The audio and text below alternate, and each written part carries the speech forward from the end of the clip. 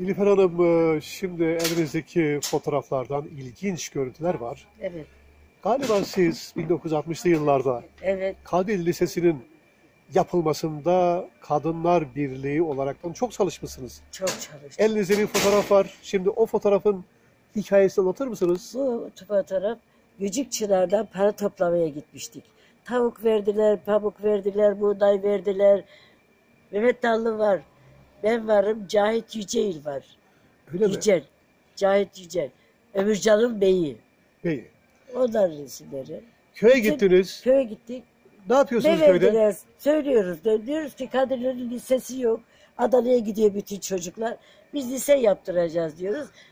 Tavuk getiriyorlar, yumurta getiriyorlar, e, buğday getiriyorlar, pamuk getiriyor. Biz de onların hepsini alıyoruz, satıyoruz ve okula o zaman burada şey yoktu, cam yoktu.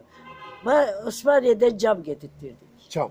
Camlar kırıldığı zaman da bizim kalbimizi kırdılar.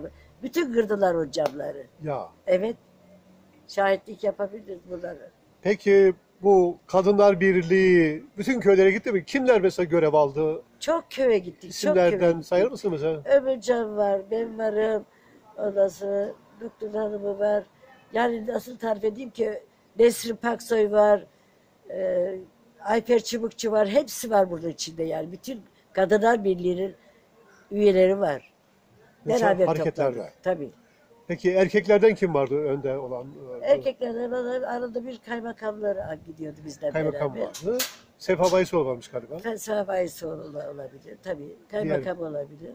Başka da öyle fazla erkeklerden kimseyle gitmedi. Yani elinizdeki fotoğraf Mehmet Dallı ve sizler. Cahit Bey var. E, Cahit Bey Ömürcan'ın var. Ömürcan'ın beyi var. beyi var. Evet. Köylerde yarın Para topluyorsunuz. topladık. Tabii Çok teşekkür ederim. bir şey değil. Sağ ol çocuğum.